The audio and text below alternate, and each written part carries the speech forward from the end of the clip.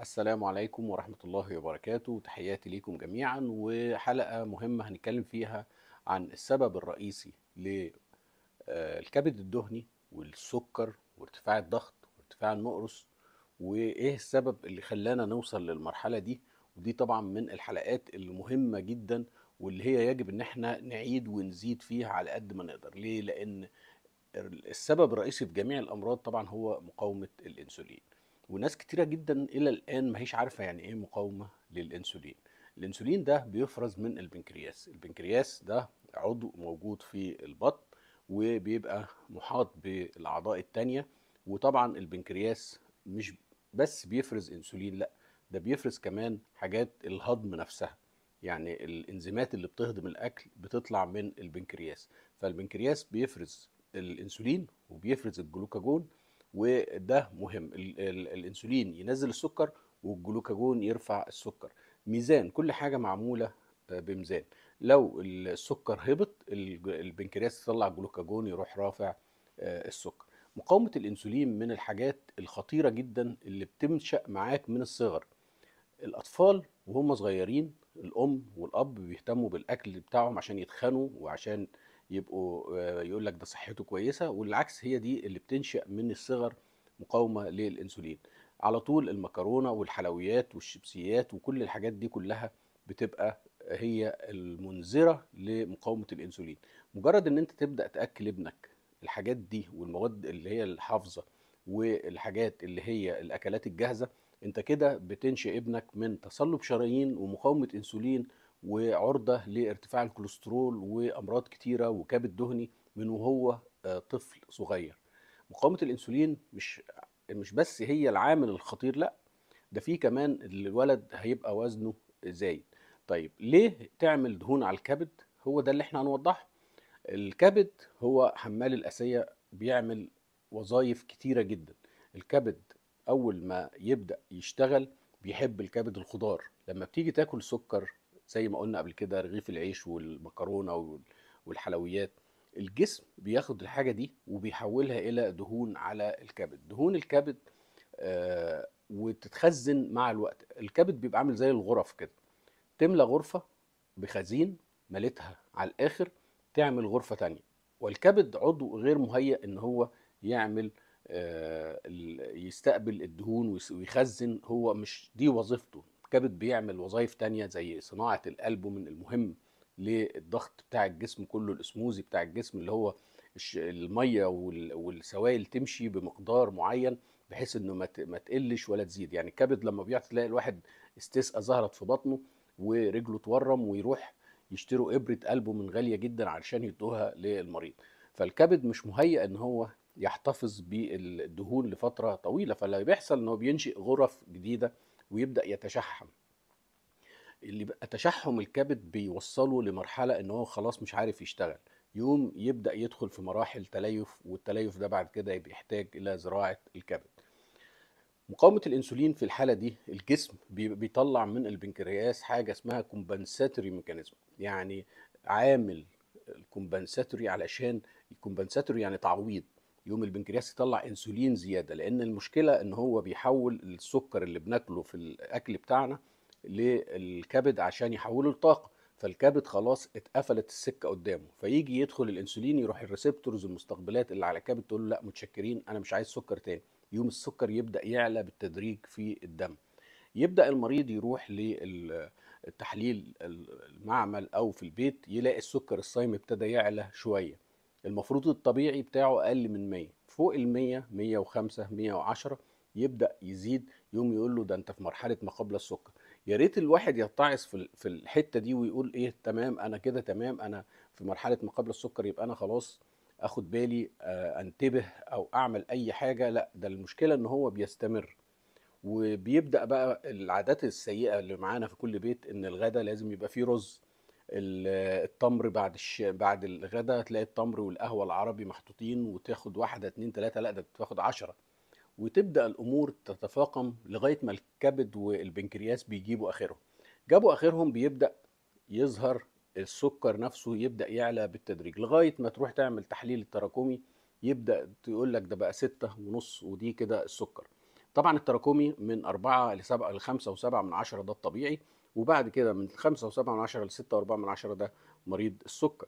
بيبدأ مقاومة الإنسولين تعلى. يقوم ال uric acid الحمض اللي هو النقرس يبدأ يزيد لأن الإخراج بتاعه مع مقاومة الإنسولين بيقل.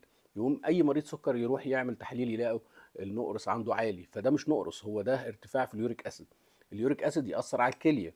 الضغط تبدأ تتأثر لأن الإنسولين وال sympathetic over activity في الحاجات اللي هو جهاز السمبثاوي اللي في الجسم يعمل ضيق في الشرايين يقوم الضغط يبدأ يعلى بالتدريج. في علاقة ما بين الضغط والسكر إلى الآن مش معروفة لكن دايما تلاقي مريض السكر بيرتفع عنده الضغط. ممكن من التوتر ممكن من الأكل والشرب ممكن من حاجات الكوليسترول العالي. يبدأ بقى المريض يتحول بعد كده إلى كوليسترول. الكوليسترول بيحصل له نوع من أنواع الأكسدة الأكسدة في ال LDL ال LDL هو lipoprotein يعني هو المركب اللي بيشيل الكوليسترول هو مش كوليسترول هو المركب اللي بيشيل لأن الكوليسترول ده دهون ما بيدوبش في الدم فبيحتاج لمركب يشيل فيه. فال LDL اللي هو الخبيث اللي إحنا بنسميه بيبدأ يتأكسد وهي دي الخطورة بتاعته. أول ما يتأكسد بيبدأ يوصل لمرحلة إن هو يأثر على الشرايين بتاعة الجسم ويبدأ الكبد ما ياخدوش. يبدأ ال دي ال يعلى في جسمنا. عشان كده دي بتسبب لنا مشكلة كبيرة جدا ويبدأ السكر يحصل وبيحصل بالمضاعفات بتاعته المضاعفات بتاعته اللي هي الشبكية العين تتعب والمية البيضة ويبدأ الضغط بتاعه يزيد ويبدأ الكوليسترول يعلى ويبدأ اليوريك أسيد اللي هو النقرس يزيد وتبدأ تترسب في الكلى ويبدأ الكلى كمان تتأثر بالموضوع ده.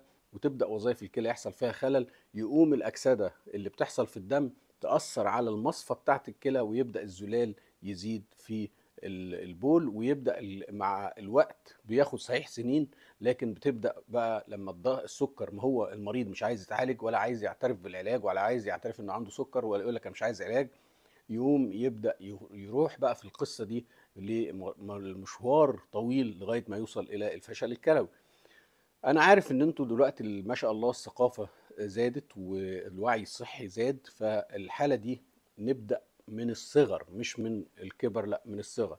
لازم نعرف كويس جدا إن أهم حاجة إن أنا أحارب مقاومة الإنسولين من بداية الصغر إن أنا أعود الطفل إن هو ياكل أكل صحي الخضار أكتر حاجة الكربوهيدرات والحلويات والشوكولاتات والحاجات دي كلها غير صحية تماما. يعني المشكلة إن هو الطفل لما بياكل بياكل كمية كبيرة ويبدأ يتعود ويحصل تسوس في الأسنان ويبدأ اللثه تتعب ويبدأ يدخل في مشاكل كتير وفهمه في المدرسة بيقل. استهلاك المغنيسيوم والزنك والمكملات اللي إحنا دايما نتكلم عليها بتزيد جدا لما بيكون بناكل حلويات. الحلويات بتخليك عرضة للسرطان كمان فيبدأ الإنسان جسمه كمان مع الحلويات لأن الخلايا السرطانية بتحب جدا إنها تاخد سكريات كتير. فدي برضو من ضمن الحاجات اللي بتأثر ومقاومة الأنسولين بتعمل مشاكل كتير.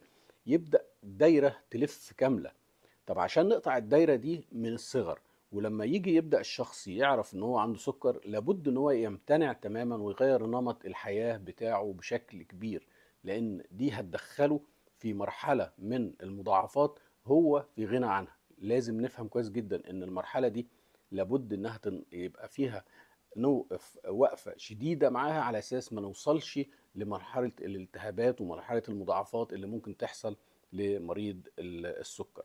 مريض السكر اللي في الحالة دي بيبقى علاجه مش الأنسولين وعلاجه مش الحبوب لأن لما بياخد الحبوب اللي بيحصل إن هو بيدخل في هبوط في السكر يقوم يبدأ ياكل تاني يقوم ياكل يقول لك الحقني بالتمر الحقني بالشوكولاتة الحقني بالسكر ففي الحالة دي بيبدأ مقاومة الأنسولين تزيد عن حدها.